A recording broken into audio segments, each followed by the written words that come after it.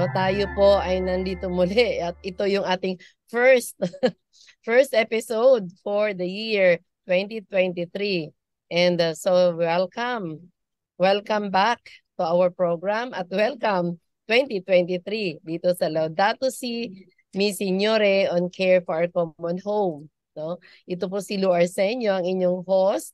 At uh, of course, patuloy tayo mag-aaral, mag-uusap, magtalakayan, magkwentuhan, at mag-celebrate no?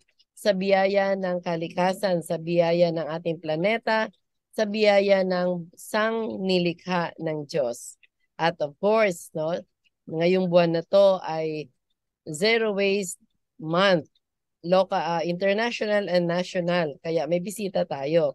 Pababatiin na natin siya, no?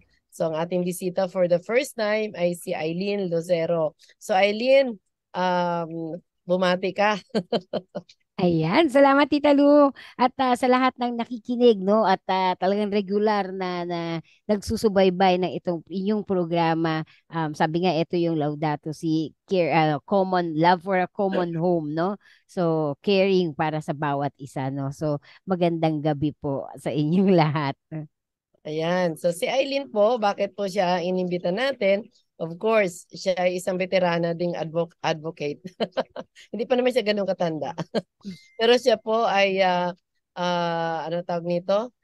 Siya ang um, ano ba coordinator ng uh, at uh, para executive director actually ng uh, Eco Waste Coalition. So siguro familiar ang marami na narinig palagi no ang Eco Waste Coalition.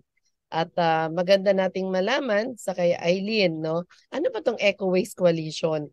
At sino-sino ba ang nandyan sa coalition na yan? No? At bakit yan nabuo, no?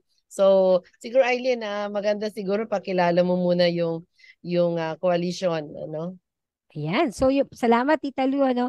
Yung Eco Waste Coalition po, um, ito yung nagsisilbing watchdog ngayon no ng sabi nga ito yung pangkalikasan na talagang uh, pumupuna sa ating mga uh, sa mga duty bearers natin at sa ating mga nakaupo no. So um nagsimula ito dahil nagsama-sama yung mga organisasyon noong 1999 pa.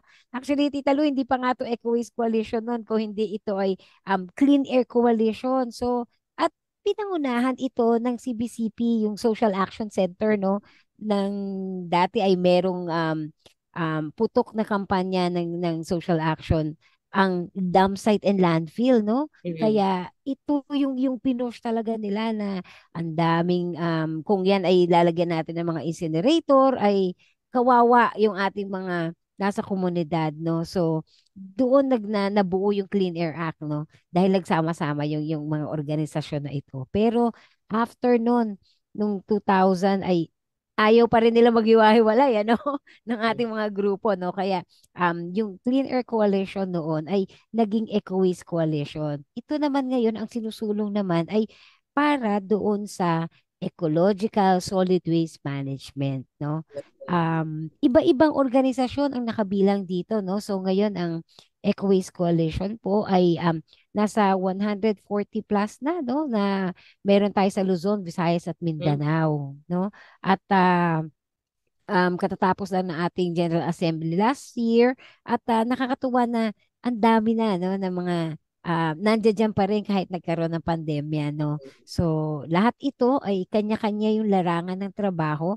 Merong sa ospital merong sa simbahan merong sa mga paaralan um, ng mga organisasyon no? Pero lahat ay nagsama-sama kahit iba-iba yung advokasya kasi iisa yung gusto. Yun ay ang pangalagaan, ang kalikasan, ang kapaligiran at syempre itong nag-iisa nating mundo no so talaga namang um, nakakatuwa na um, sabi nga ilang henerasyon na ito no merong merong matagal na merong mga bata no so gan ganon yung Eco Waste Coalition na, na nakikita natin no yan. So, thank you, Eileen. So, ang ECOWIS, I was part of that before, no? Ng yes. early 2000, actually. Early 2000, no? But anyway, so, yung ECOWIS Coalition is a coalition para siyang umbrella organization, ano? ng pagsama-sama. Kaya kung titingnan natin sa Laudato Si, andyan yung uh, in, uh, it's it's actually a response to the call also of Pope Francis no do alam naman natin na kailan lang yung Laudato Si ang encyclical na isulat or na i-publish pero yung konsepto ng pagsama-sama pagdialog no pag-collaborate ng iba't ibang grupo no ang simbahan nakipag-collaborate sa NGO sa government sa private sector sa people's organization So yung collaboration, yung dialogue at kung titingnan natin sa present no na uh, ano na tawag nito gustong roadmap o lakad ng simbahan, sabi ni Pope Francis ay synodality. Mm-mm. Okay? So yun yung picture ng synodality no, yung pagsama-sama, okay?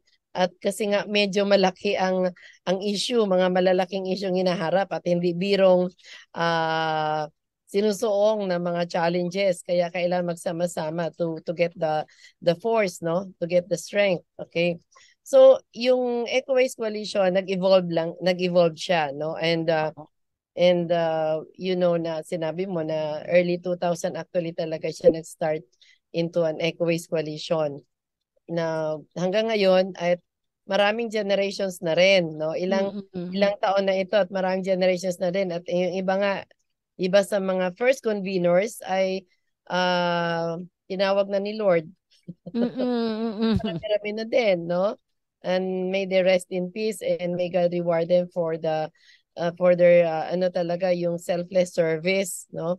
Uh, sa ano dito sa coalition sa ating planeta, no? Yung kanilang uh, pag-iwan ng legacy, no? Mga ano 'yun, mga talagang uh, Kumbaga, mga talagang uh, strong advocates 'yon, no? So ngayon, um yung ano, yung ano yung nag-trigger bakit itayo ang Eco Waste Coalition? Uh, at in fact, ano yung isa sa mga pag sinasabing landmark advocacy ng coalition? Opo, tita, no? So, ang isa sa mga mga dahilan, no, ba't tinayo, no? Kasi um, napakadami nga, no? Sabi nyo nga kanina, talaga namang naglipa na yung mga merong mga hidden interest, no? Hidden agenda, no? Na uh, ang ending ay gustong pagsamantalahan ng ating kalikasan, ng ating kapaligiran, no? Um, lalo na yung mga uh, resources, no? Sabi natin talagang in, uh, resources na tayo. So, at uh, tayo ay nandito para maging stewards no so ang EcoWaste Coalition ngayon ay um um tinayo no para maging bantay no? Bantay dun sa papadami na papadami ng mga basura um pag uh, walang pakundangang pag ano pag uh, pagtapon no kung saan saan at saka pag ano dun sa pag uh, exploit dun sa mga resources natin ano uh, sabi nga ang mga puno eh putol dito putol doon ang ginagawa ng mga pribadong sektor no? Kaya um sa pamamagitan ng Eco Waste Coalition kahit yung mga maliliit na nasa mga people's organization ay na nasa komunidad ay nagkakaroon ng boses no okay. nagkaroon to ng boses para um sabi nga ay eh, mag-defend dun sa kanyang ano sa kanyang um, kapaligiran, sa kanyang komunidad, no? So, uh, ngayon ay humaharap na naman no ang ang, ang ating uh, mga environmentalists, ang ating mga nasa komunidad um, doon sa papataas at paparami yung palalang consumerism no. So mm-hmm. talaga namang um, uh, sabi nga ay kung makikita, 'di ba, nandoon na nga sa encyclical na ng ating Santo Papa na dapat ay wag mag-aksaya ng mga resources, no? Dapat matuto mag-reuse, mag uh, mag-conserve ng resources, no? Pero um, dito sa ginagawang um, narrative at saka mindset ng mga nasa pribado, lalo na yung mga manufacturers, ay talaga namang uh, hindi, hindi ganoon, ano? Ang mas, mas pinopromote ay yung um, convenience. Sabi nga eh, convenience daw yan pero hindi nila nakikita yung after effect o yung consequence nito sa ating mga environment. So, yan yung isang um, patuloy na na dahilan bakit nakatata nandito pa ang Eco Waste Coalition. Okay. So, ayan. So, parang sinasabi mo na isa sa mga task ninyo is to empower the communities na lalo na yung di, sila yung um, nanganganib, apektuhan sa kung ano mang itatayo na mga destructive uh, industries, no? So like landfill or uh, or open dump site or incinerators, no? So isa yon kasi naalala ko yon isa sa mga uh, advocacy before yung uh, against incineration, no? And by the way, uh, yung tutok ng Eco Waste Coalition is the implementation of RA 9003, right? Yes po. Ayan, so kaya maganda magbigay ka rin ng update later, no? So, uh, pero we're talking about Zero Waste Month. Yes po. Uh, kailan ba ito na ano yung Zero Waste Month? Opo. Kailan Bali, ba ito na natag nito na proclaim? Opo. Bali nagsimula kasi na, na nanawagan ang ang, ang mga um, grupo na nag uh, nagtatrabaho uh, sa waste no noong nakita namin na uh, ang tagal-tagal na ng RA 9003 dekada na, no? 2000 pa. Pero hanggang ngayon, hindi pa halos napapatupad, no? So, nakita namin na, ah, kailangan, ano, igamitan ng iba naman. Ibalik na mm. rin. Gawin natin na um, imbis na tayo ay um, nananawagan na lagi na lang na bawal to, eto gawin mo, yung gano'n, no? So, gawin naman natin na i-showcase natin yung mga best practices, no? ano ba yung magagandang na ginagawa. Kaya lumabas mm. itong Zero Waste Month, no? Um, um, naging, um, ito ay, lum, uh, ito ay pinaroklama na under uh, uh, presidential order na proclamation 760 no? No 2014 ng noong um ating namayapang presidenteng um Noynoy Aquino no? Yan siya. So ginawa itong January kasi para kaakibat din o kadikit doon sa signing. No, kasi sinay ng ating batas ng January 26, yung ating RA 9003 no? Na um, sabi nga ay kakaiba sa lahat ng may mga solid waste management ah, kasi itong sa atin nilagyan natin sa sa unahan ng Ecological Solid Waste Management Act, no? So, hindi lang siya basta-bastang mag-segregate ka, mag-manage ka, kung hindi dapat ecologically mo itong gagawin. So, do doon yan nakadikit ngayon yung Zero Waste Month na bakit January? Um, ito ay talagang pagpapainting no, ng um, panawagan para um, seryosong ipatupad yung, yung RA 9003 um, ipaalala no sa mga tao na kailangan niyo magbawas ng basura, kailangan niyo mag-minimize, mag-segregate. Ang dali-dali na nga lang, segregate na lang sa bahay eh. Pero 'yun hindi pa rin nagagawa. So Eileen, minention mo yung paglagay ng ecological no sa nauna as na main title no. Uh, mm-hmm. naalala ko parang trivia ito. Siguro parang I do not know kung familiar aware ang marami na uh, nalaman ko na ang nag-debate talaga at nag-push na mailagay ang ecological na word ay si uh, late Senator Raul Roco. Yes po. Oh, siya yung nagtalagang nag-push nito kaya uh, hindi lang tayo waste management law but zero waste management.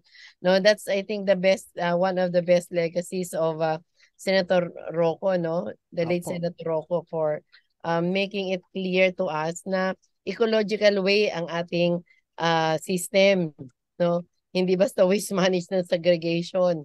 Okay, so anong ibig sabihin ng ecological? Medyo mala, malawak na ano din yan, no? Na uh, discussion at the same time malawak din yung kanyang scope, no? But anyway, so yung zero waste uh, maganda na tiniming sa anniversary ng signing into law ng RA 9003 no or Ecological Solid Waste Management Act no? Uh, alam natin na si 9 into in 2000, right? Yes po. Pero uh, 2001, I think, Opo. 2001, right? 2001, yes, na-pass ng 2000 but na-sign into 2001 and uh, ang ang nag-sign nito ay yung president ng 2001. na ayaw na natin sabihin. ayaw na natin pag-usapan. anyway, so ngayon, uh, So therefore, uh, as we speak, it's it's 23rd year. 23 yes, years po. na ang batas, no? Naipasa nung late ng 2000 at na permahan ng uh, January 2001. Okay. Now, ang tanong natin ngayon, um, if uh, may idea ka ba, ilang porsyento ng local governments, kasi sila naman talaga yung mandated to implement the law, ilang percent ng uh, LGUs sa buong bansa ang talagang totoo and effectively implementing the law. Ayan, pagka po ang ecoways ang tinanong ninyo, ang sasabihin lang namin eh, wala pa po sa 15%, no? Ang nag implement ng, ng batas natin. Kasi um, marami pa rin kulang, no? Pero kapag ka tinanong naman natin yung ating mga kaibigan sa na nakaupo sa gobyerno, ang sasabihin nila ay mataas na yung porsyento. No? Mataas so, na yun. po yung implementasyon, no? Um, pwede taasan ang ano, taasan ng criteria ng kunti. oo nga yeah. po. Pero yun nga, nung, nung ang, ang dapat kasing makita ay um, iba yung dire-report dun sa actual mm-hmm. na nangyayari sa baba. So, meron kami mga ilang nakita na um, nagre-report na ang ganda-ganda kaya ng report niya, pang-award yung gano'n yung report, no? Pero pagka chinek mo, ah, maraming basura, may mga nakatambak, merong, uh, merong kung saan-saan lang tinatapon, y- mm. yung gano'n, hindi nagsisegregate, kung hindi, kinukuha lang ng mga ng mga dump truck na mixed waste no? So hindi hindi yun. Hindi yun yung nandoon sa batas no? So pagka tinignan nila talaga yung batas at pinag-aralan ay uh, wala doon yung ano eh ang, ang nakalagay doon ay paano mo i-manage yung waste no? Paano mo ah, sino-sino yung mga stakeholder na nakasama. Pero wala doon sa batas na saan mo to idatap, ilalagay, no? Anong gagawin mo? Hindi naman yan nilalagay na land, landfill. Sabi niya nga, sabi nga ng batas ay list na, no? Pag walang-wala na talaga, yung wala na talaga, ano, saka ka lang magla-landfill. No? So, Sabihin reduction.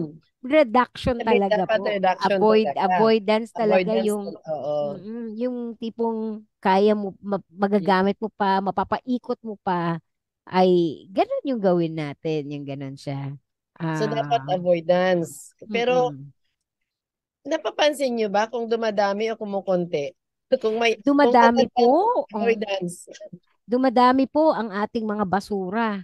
Um, taon-taon na lang ay dumadami ito no kasi sa, kaluku, sa kasalukuyan ay nasa ano na po tayo eh sa Metro Manila lang anong 2018 nasa 9,000 tons per day na po tayo. So, isang kilo na po yan per ano, per tao.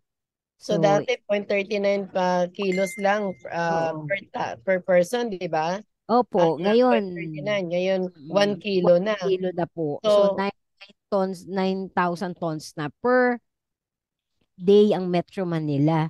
Uh, ah, 2018 pa yan. Siyempre, wala pa yung ano, pandemya.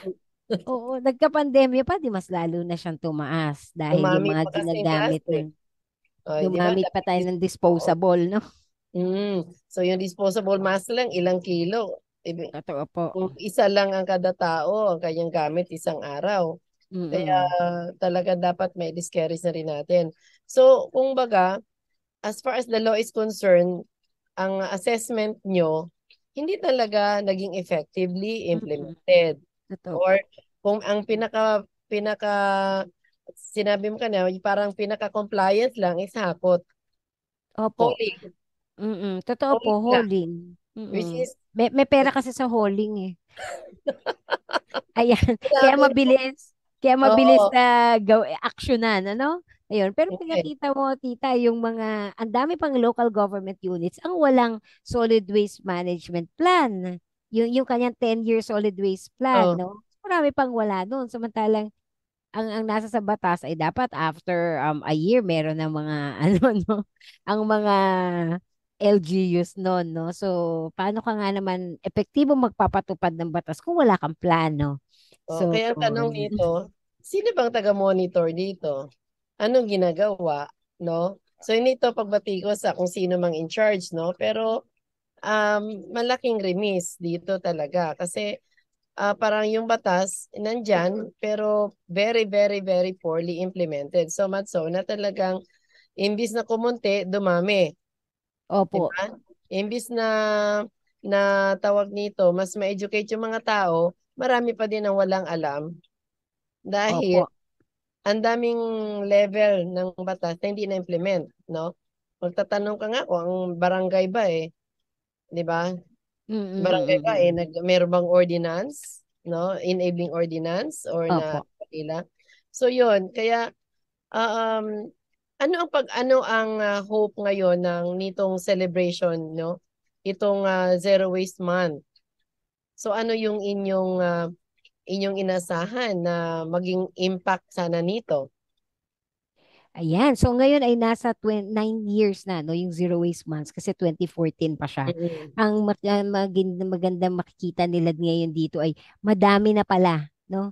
Um ang nag, nag marami na palang nagpa-practice no na mga local government units at barangays no.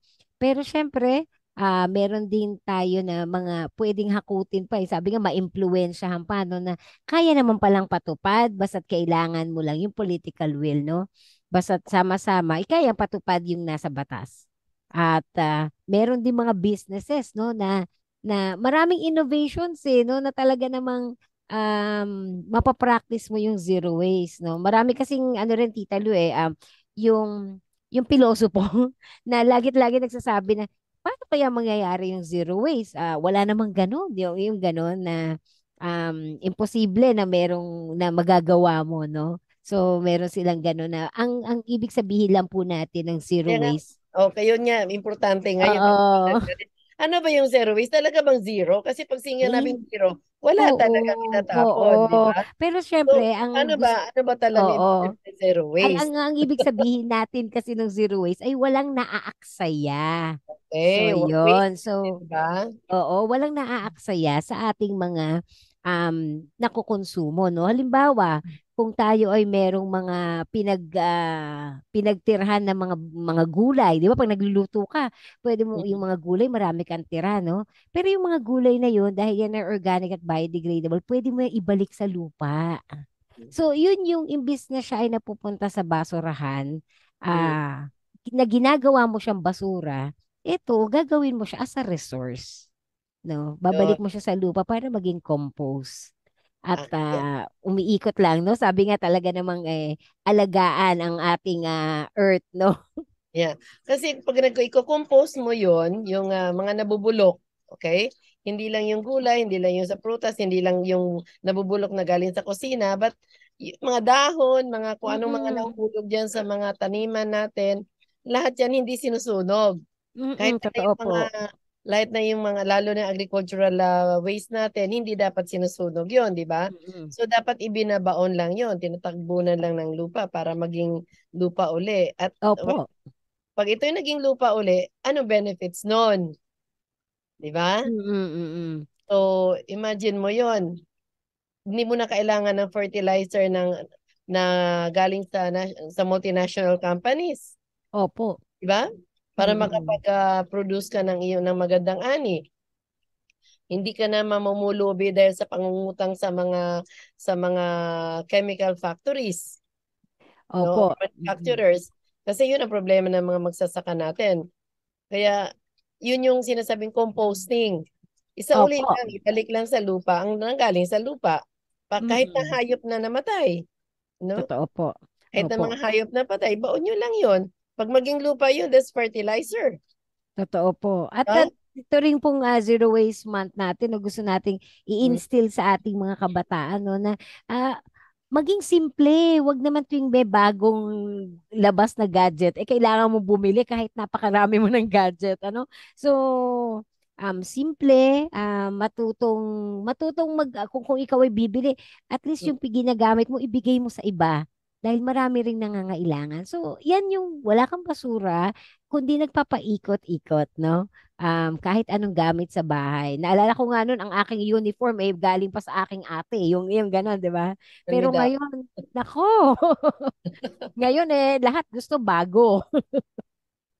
So, ah, kanina, nabubulok, ibalik sa lupa para maging fertilizer, natural na fertilizer o pataba ng lupa, no? So, ah, kung wala naman kayong wala naman sila sa sa farm, wala sila masyadong malaking lupa like sa syudad, pwede naman containerize, di ba? Totoo po. Mga maraming paraan. Kaya mag-comment po kayo, mga taga-subaybay dito, kung gusto niyo matuto So, para malaman namin kung anong skill gusto nilang matutunan, di ba? So, o kaya So, pwede nila i-share sa atin, tita, kung anong Ha? ginagawa nila. Oo, yun. I-share nyo po. Paano nila ginagawa? Baka makakatulong din sila sa iba, di ba? So, pwede nila i-comment yun. And then ngayon sinabi mo, na recycled yung mga yung mga mga non-biodegradable naman tulad ng mga gadgets at iba pang mga bagay na na hindi naman kailangang itapon, no? Mm-mm. Baka nilil strength nini, pinahaba mo yung buhay ng isang bagay na yon at dahil doon iniiwas natin yung mga mining companies para mag-extract na mag-extract Totoo po. sa ating natural resources ng raw Mm-mm. materials. So, Yan yung sinasabi ng ating cycle na to, di ba? Oh, yan ang sinasabi ng ating Santo Papa, na i-conserve mo yung mga resources, di ba? Para Oh. ah, mas humaba, no? mas maraming makinabang. Kasi naalala ko, ah, dito sa Laudato Si, no, sa chapter 1, no, ah, what is happening to our ah, common home, sinabi ni Pope Francis dito na ang ating mundo ay ginawa nating isang malawak na basurahan. Mm-mm. Okay? Kay dagat yan, kay kalupaan yan, kay kagubatan yan, ginawa nating isang malawak na basurahan, no? Imagine mo 'yon, 'di ba? Kung ganun ang ang description ni Pope Francis, and it is a reality. Kahit saan ka titingin, titingin sa paligid natin, pag naglalakad ka, nagbabiyahe ka, nakakita ka ng mga kalat sa paligid. Andiyan yung si opos ng sigarilyo. 'Di ba? Andiyan yung pinagkainan at minsan naiinis ako, mga driver ng jeep or mga ano, or even mga kotse, makikita mo na ni Garillo, tap, pagkatapos tapon Tapon. lang sa daan. Diyos ko kung isang milyon silang gumagawa ng ganun. Ano kayang impact, impact nito sa environment natin, sa kapaligiran natin, no? So, basura pa lang pinag-usapan natin. eh, lahat tayo lumilikha noon. Walang exempted, no? Pero kung ipa-practice natin yung sinasabi ni ni ano ni uh, Eileen, eh makakatulong tayo ng malaki. Simula lang sa sarili, di ba? Mm. Totoo po. So, tapos ano ba ang te- theme, ang tema ng ng Zero Waste Month? Ayan po. So, ang ang ating pong Zero Waste Month ay um sabi nga yung lahat ng organizers ay nagkakaroon ng iba-ibang team, no? Mm. Ang um ngayon ay ang Eco Waste Coalition ay meron siyang team na basura mo um iwa ano bawasan mo, no? So, ito ay sinimulan natin ngayon sa Baguio City naman kasi ang Baguio City ay magpa-pilot na ng kanilang um, zero waste model na barangay, no? Isang barangay lang muna kung makikita na um, kaya at makita yung mga challenges ay para maging gawin na yung buong Baguio na zero waste, no? So, maganda ito kasi tourism, ang dami-daming mga turismo na um, nagkakalat. no? Oo, So, grabe nang, alam mo, nakakainis na pumunta ng Baguio. Hindi na nakakatuwa. traffic na, ang ano, ang kalat pa. Oh, So, na maliban sa nawala na yung mga pine trees, no? Mm At ng bun ang mga bundok makikita mo bahay ng nakata nakatanim. Tapos makita mo pang basurahan. Grabe, di ba? Kaya Kaya nga po. nagkaroon na ng carbula car ano car, garbulance, no? Opo, Avalanche ng mga basura doon at malaking aksidente 'yon. So, Opo. ngayon sila magsimula tapos one barangay pa. Mm-mm. Ang hirap makiano, no? Hindi ganun kabagal. Sana lang bawat ba- bawat city man lang merong one barangay model, no? Opo. Or Pero municipal. siyempre nga, ah, mas mabilis yung paghakot kaysa pagbigay ng suporta sa pag-pilot. Kasi yan ay, um, sabi nga ay, ah, sabi nila ay mahirap gawin, no? Dahil ah, mahirap yata yung pagsunod ng RA at ah, 9003 at mas madali yata sa kanila yung mga quick fixes, no? Na gusto nila isang iglap lang ay wala na yung basura sa mata nila. Lipat lang naman yun. Oh, nalipat lang naman po yun, totoo po. Lilipat lang. Kaya nga, yung hakot tambak, nandyan, ayan pa rin. Tapon dito, tapon doon. Okay, tumpok mo dito, hakutin. Pero ito transfer lang sa isang lugar. At naisipan natin, anong impact ng basura mo na nilipat sa ibang lugar? Opo. At ka, po, pos- posible din na yung pagdadala ng basura na yon ay pwedeng bumaha, di ba? At bumaba din ulit sa iyo Yung, Balik sa iyo. basura na yan, mo nga, babalik. bakit ang basura ng Manila Bay hindi na ubos-ubos? Saan ba nanggaling yan? Maliban sa Pasig River, ang number one ngayon, no? Sikat na masyado, no? Number one ang source ng ng plastic pollution. Pero yung nilipatan kasi natin ng basura, lalo na yung iblang cities, ay nandyan lang din sa tabi ng Manila Bay. Opo. Lalo na po yung, yung dito sa may... Opo. na nasa Overflowing gitna. Sa gitna pa ng fish ponds. Kaya kung pupunta ka doon sa isang island, nagtanim kami ng mangrove noon, no, many years ago, siguro mm, 2009, 2000, mga ganon. Hindi namin malaman paano ubusin, ligpit, i- ah, ligpit yung mga plastic na sumabit na sa mga mangrove, Mangrove. nandun pa sa, sa, sa dalampasigan, sobrang dami. Hindi malaman paano ubusin na isako, no? So, yun ang nakakalungkot na nangyayari. Kaya, kung baga, nililipat lang. Pag nagpapahako tayo ng basura, inililipat lang po yung basura. Hindi Mm-mm. talaga nakakabuti yon. Tama Parang po. sabi nga, ah, tapat mo linis mo, pero wala kang pakialam sa tapat ng iba kasi nilipat mo lang sa tapat ng iba yung yung basura. Totoo po. Ganun ang nangyayari. That is not the solution. That will never be a sustainable solution, di ba? Totoo pa. Ikot-ikot lang po yan. Oh, pinaki, pinagkikitaan lang ng may-ari nung dams, nung, nung landfill ko, no? No? At saka At- ng kolektor. Yet, ng Hauler. collector, ng haulers, no? Yung ating mga tinatapon. At ang isa ko pang ano diyan talaga, um, Eileen, no? Yung, ah, yung ganong klaseng sistema ay talagang very, very prone to corruption, di ba? Totoo very, po. very prone to corruption. So, imbis na i-instill natin yung value ng responsibility, no? Hindi natin, basta na lang importante, ano, tapos pag hindi na ako, tawag dito, tawag doon, nagagalit na ganun. Pero bakit ka naglilika ng, ng ganyan? Di ba?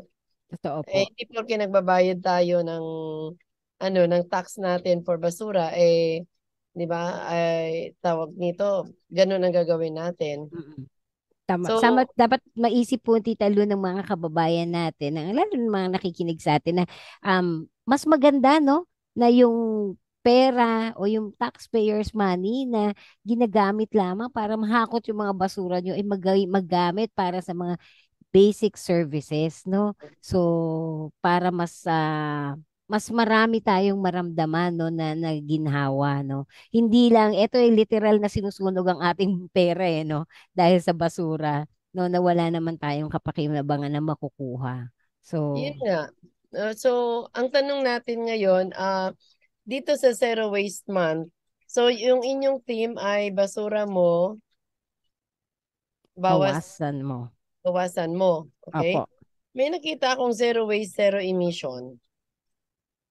Opo Ah, sa national government yon.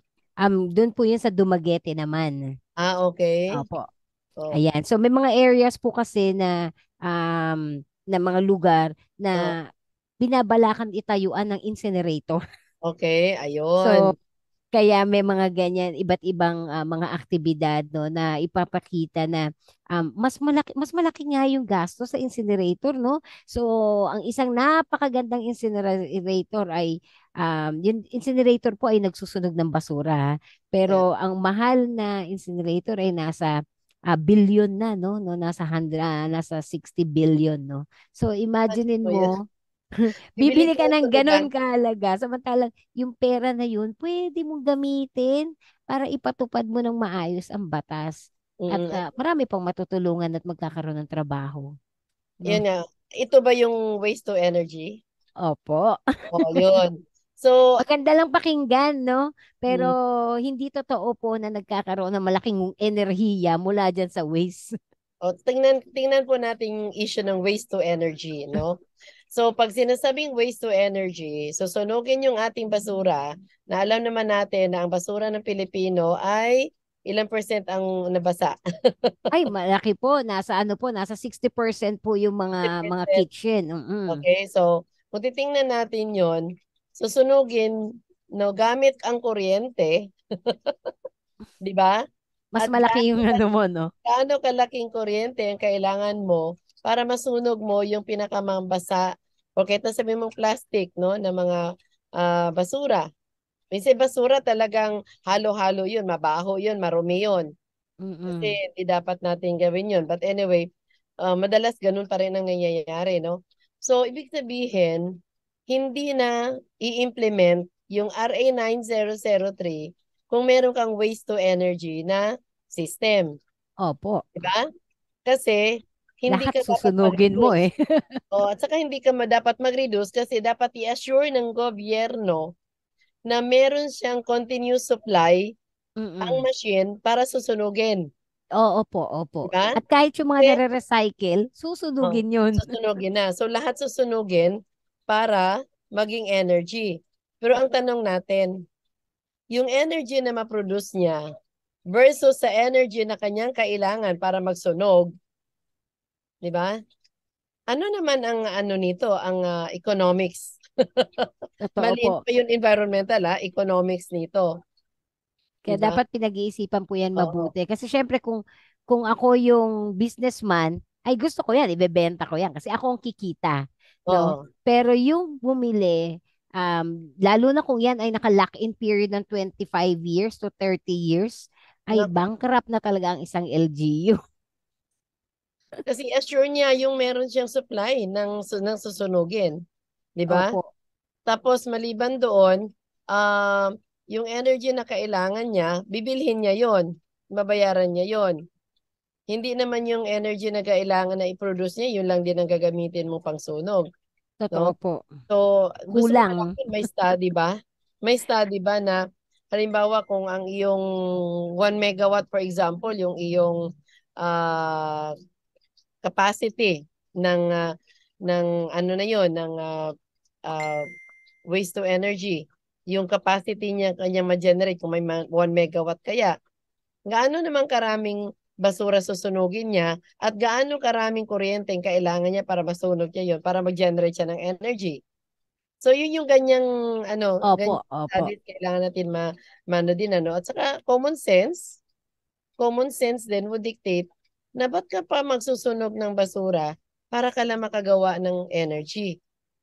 'Di ba? Makaproduce ka ng energy. Dahil una, ano yung mga side effect, ano mga mga mga mga contra, mga negative impacts nito? Eh, so pagka po tayo nag-incinerator, no, syempre, yung hangin, no, madumi. So, pwede kasi mag lumabas yung dioxin and furan, no? Sabi natin, ito yung toxic, no?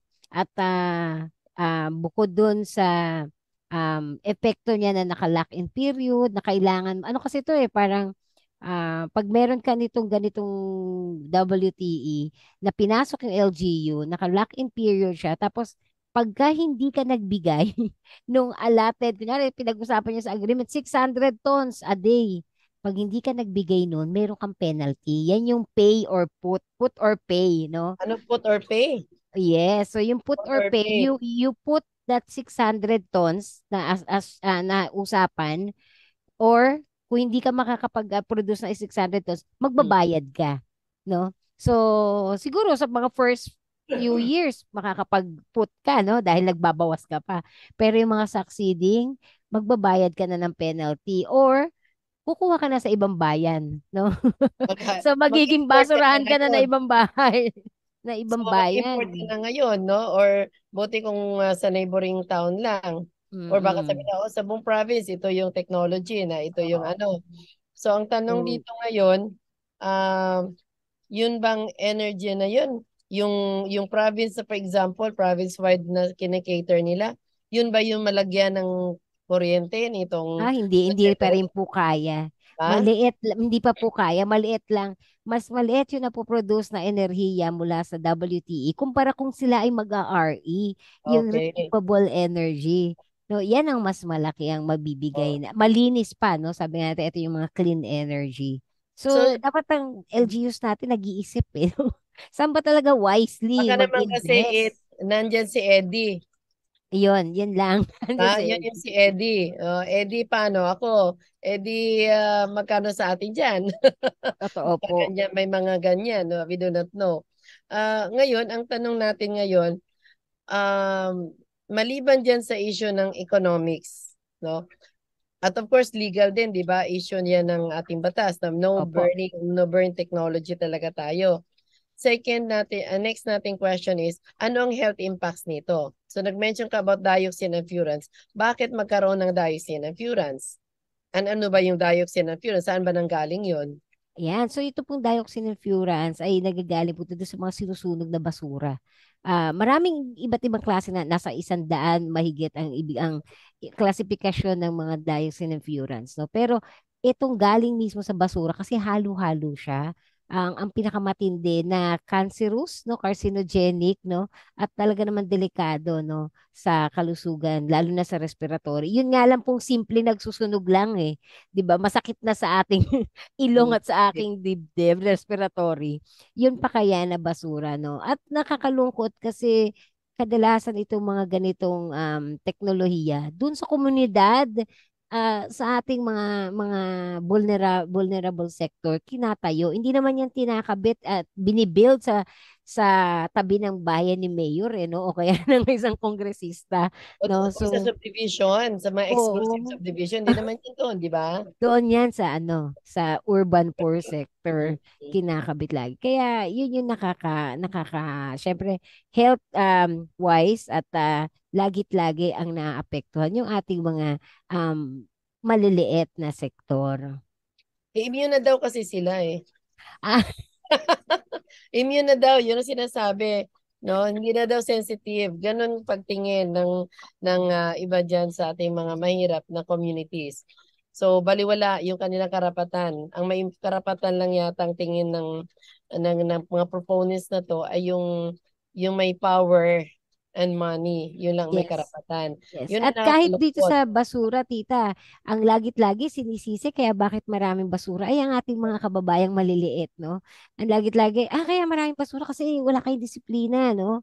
Pero mm-hmm. hindi um marami kaming nakita na madali naman uh, madali silang turuan, mm. madaling um ma- madaling uh, basta't naintindihan nila no ano yung kahalagahan ay nagagawa naman nila no talaga namang yung maraming nagsisegregate na at uh, marami rin ng um, nag-urban gardening na nga yung iba eh, no? Talagang nakita nila yung kahalagahan ng meron kang tanim mo na lalo na yung mga pagkain.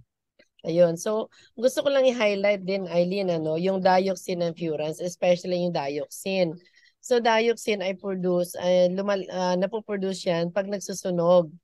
No, lalo na kung ang sinusunog ay halo-halong plastic, especially yung mga PVC.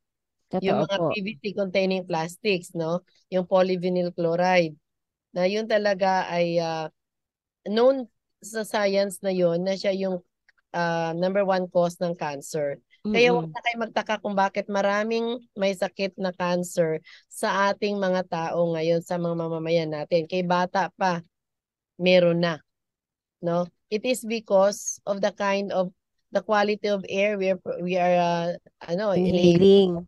Tapos yung exposure natin sa mga pagkain, mm-hmm. no, sa paligid natin, yung mga tinatapon natin, bumabalik sa atin in a form of different kinds of gas or or or uh, flooding, no, yung uh, pollution sa sa katubigan, marami siyang ano, kaya sabi nga eh sabi nga ni uh, ni uh, Popayos uh, na po Paul the Sixth or Popeyes the the tenth yata no na uh, whatever we do to the environment it will always uh, go back to us. Mm-mm. It will always go back to us. Babalik sa atin. At common common na rin to na kasabihan kung ano mang ginagawa natin kalokohan, babalik din sa atin. Totoo And po. Yun yung sitwasyon natin, no? So yung zero waste month, no? uh, yung zero waste month ng iba merong zero emission, zero waste, zero emission. So yun yun, pinipigilan, Apo. tinututulan ang pagtatayo ng incinerators or kahit nasabing mong waste to energy ba yan? Totoo po. Kasi hindi naman talaga po na-design yung mga materials natin para sunugin. Mm-mm. No? So hindi siya safe sa environment. And by the way, si dioxin can travel up to like how many kilometers from the source kung saan siya sinu nag nasunog, saan sinusunog yung material na yon. So hindi porke wala sa yung nag wala ka sa tabi ng dam site, ay safe ka na. No? So, posible pa rin kasi it goes to the water, di ba? So, yes po. pumunta na sa, ano, sa hangin, it will, anything that goes up will always come down. Totoo po. Kaya, meron tayong mga acid rain, mga kung ano-anong mga, ano, tapos yung mga water contaminated na, kaya nagkaroon tayo ng mga iba pang mga, mga phenomenon, no? Sa ating, ano, and worst, anong impact nitong waste management natin sa climate change? Anong Opo. contribution nito sa ating problema, no? Yung ating climate emergency ngayon.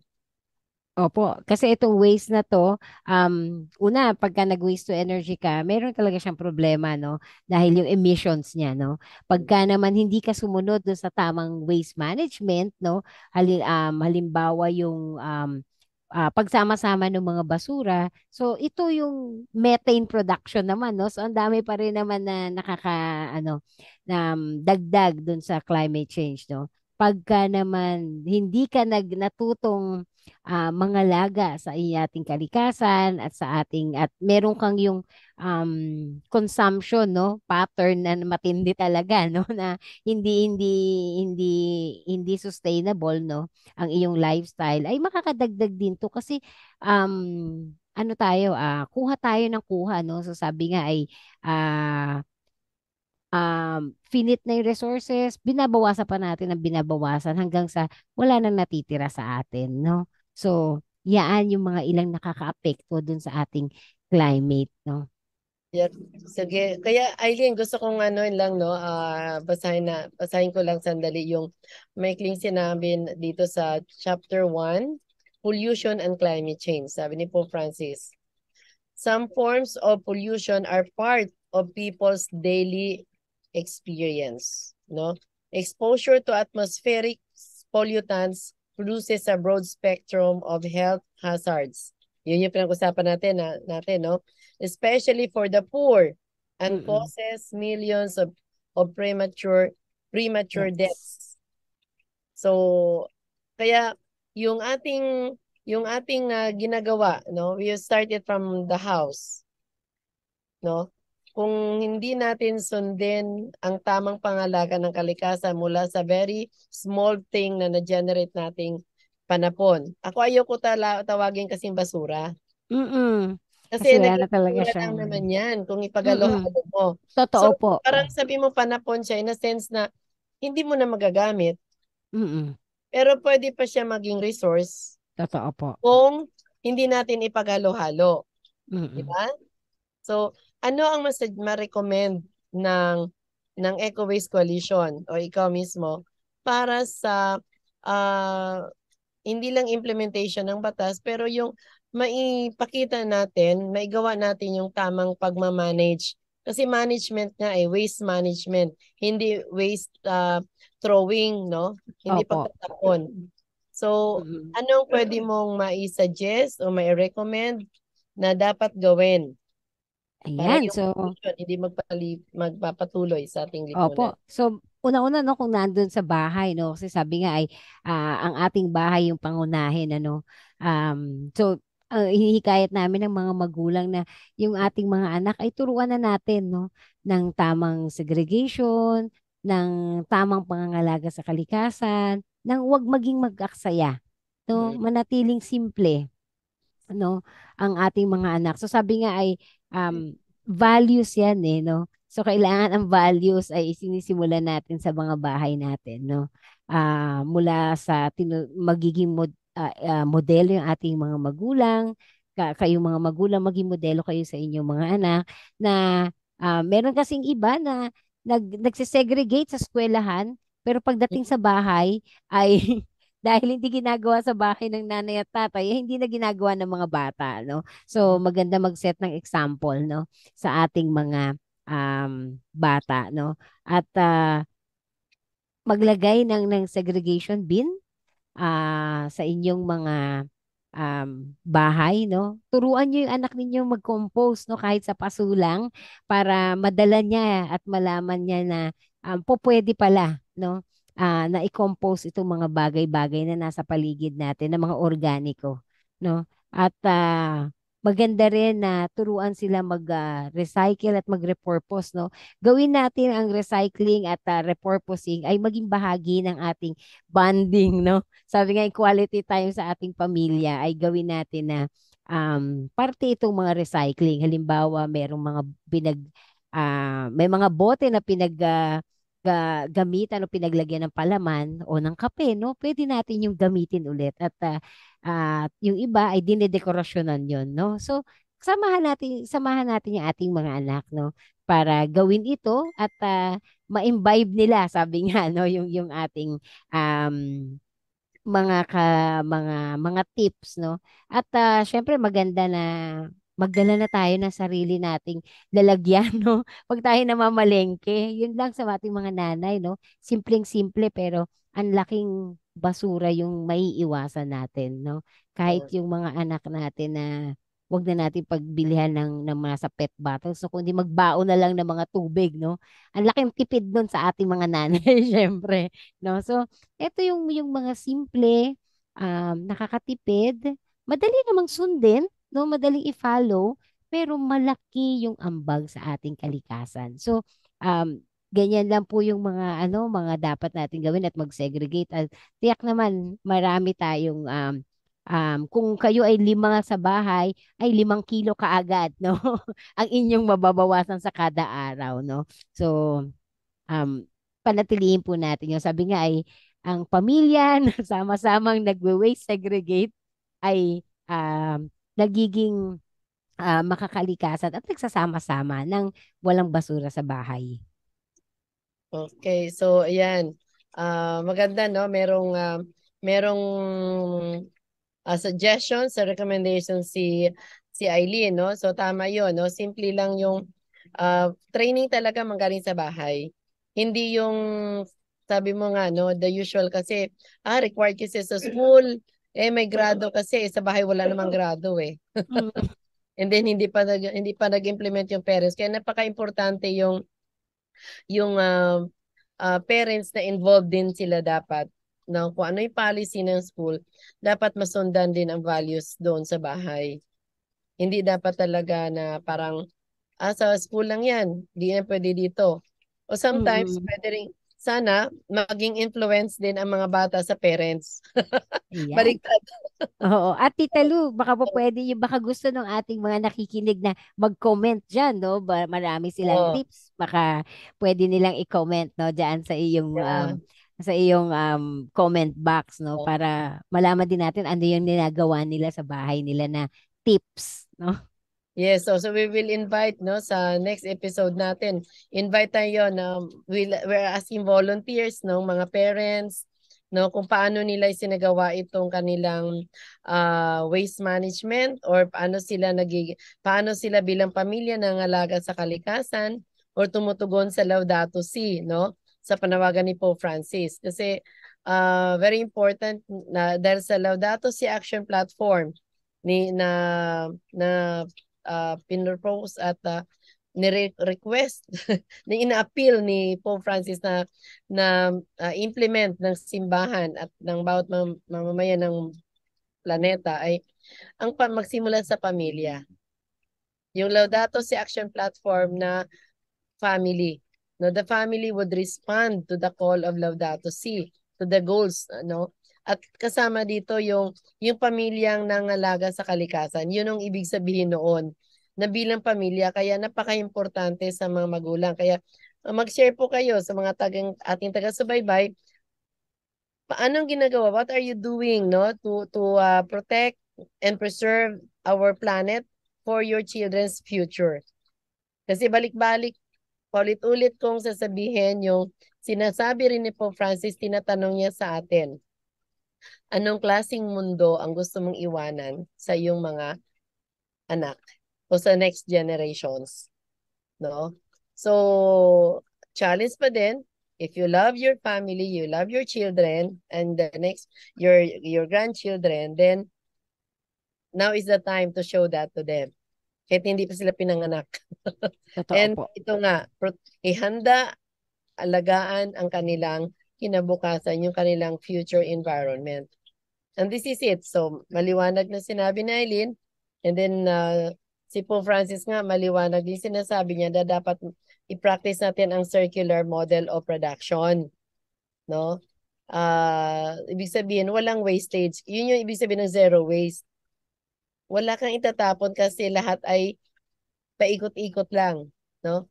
Recycling, reusing, no? tapos uh, composting, no? So ganun, paikot-ikot lang dapat, hindi palaging extract na extract, no? Totoo. Kaya zero waste is possible. Zero waste, zero emission is possible. Kaya basura mo, bawasan mo. 'Di ba? So Yes bawas sa basura. At ang sa akin, huwag kang maglikha ng basura. Totoo po. No to basura. Kung meron ka mang panapon, hindi dapat naging basura yon kasi naging resource yon Basta Tama. ginagamit uli or or nire-purpose nga. Okay? So, Eileen, for your la your uh, parting words, anong challenge Ayan. mo? So pa para sa akin ay Tita Lu ano, um ang January ay simula lamang no. Ah, sinasabi natin ito ay zero waste month pero gawin natin na buong taon ay i-practice natin ang pagiging zero waste no. Ah, kasama parehas din yan nung, nung Earth Day no. Laging Earth Day ay isang araw lang pero lagit nagit nating um, um isipin na um kailangan natin itong gawin, no, gawin nating habit no. Ah, baguhin natin yung ating mga behavior, no? Dahil ang magiging consequence naman nito ay napakaganda, no? Hindi lang para sa atin, kundi para sa ating mga susunod na henerasyon. Um, hindi maganda na puro lang tayo salita, mag magkaroon tayo ng action, no? Uh, mas mahalaga yung action kaysa yung mga salita. Kaya sama-sama po tayong gawin ang um, ang pag uh, pag uh, segregate, pag-recycle, pag-conserve sa mga resources. Dahil pagsama-sama kahit na gaano kahirap, kayang-kaya natin. Ayan. So, yeah, thank you Eileen sa iyong uh, time, no? At uh, of course, uh, yung paalala natin, ang kalikasan ay nag-isa lang, yung ating planeta ay isa lang. At kung ito ay ating sirain, allow natin, kung i-allow natin ang mining, i-allow natin yung mga incinerators, i-allow natin yung pag-pollute nito, tayo rin ang sumisira sa ating tahanan. So this is the only home that we have. Kaya nga, uh, St. Francis of Assisi already showed to us how to uh, to treat everyone in this planet, in this uh, creation. No, they are brothers and sisters. And if they are brothers and sisters, brother sun, sister moon, brother uh, sister water, brother soil, lahat yan ay kapatid natin. So, na siyang pinagkukunan ng kailangan natin. Kaya, it is our duty to protect and preserve dahil, sabi nga ni Eileen, meron tayong next generations that should benefit from it. Diba? At uh, para sa lahat, please comment, uh, share ninyo, and next episodes natin ay we will show how concretely. So magkakaroon tayo ng mga uh, practical at pagpapakita ng mga solutions paano gagawin yon. So uh, we will invite once more uh, sila ni Eileen no to showcase no to show to us ano yung mga uh, konkretong gagawin. Kumbaga may step by step paano ba yung uh, ano pag uh, kasi may mga brand audit din, di ba? Yes po. May mga brand audit, waste audit. So, paano kung gagawin yon Maganda pag-usapan din natin yan dito so that we can audit our own waste at home. Mm-mm. Ha? Kasi pag may na-audit mo na siya, then you decide ano yung pwede mong i-forgo, ano yung dapat mong iwasan, ano na yung dapat baguhin. Okay? Kaya watch for next episodes. We will have concrete actions to to show to you. Kaya please comment at uh, we'll be happy to to to uh, ano to uh, respond to your questions if any or meron kayong gustong i-share then we will uh, feature that in our next episodes. So Eileen, thank you very much at uh, babati tayo, makakalikas na pagbati sa lahat. Laudato si mi signore at uh, sana ay ang ating tahanang nag-isa ay ating pangalagaan. Thank you.